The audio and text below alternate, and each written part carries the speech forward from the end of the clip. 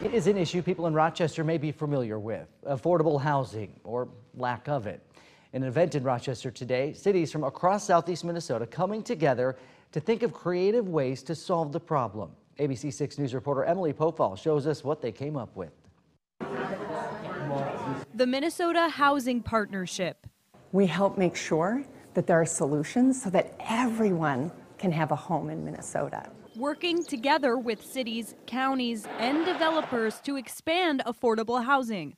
MHP says in Rochester over the past 10 years, rent has increased 18%, but income has gone down 3%.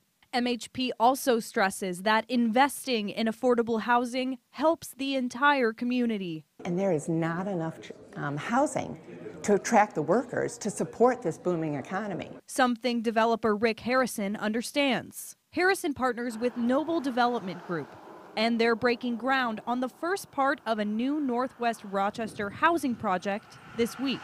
Now, this spot may not look like much right now, but soon it'll be 524 acres of housing focused on affordability and sustainability. The development will actually be pedestrian focused, built around walking paths. The ponds of Highland Hills will include affordable homes at 50 to 80 percent of the area median income. But the catch? The zoning would be to put the lowest price housing at the front door, then the next price point, and the next price point.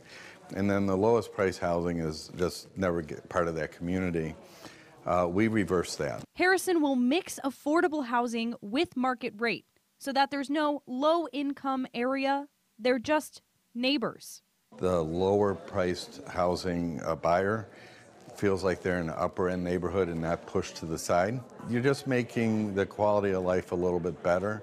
And that's really our goal with this development. Having a home is fundamental to everybody. It's about a sense of pride, you know, I mean, and, and self worth and, and value. Fighting against the disparities in our community in more way than one. In Rochester, Emily Pofall, ABC 6 News.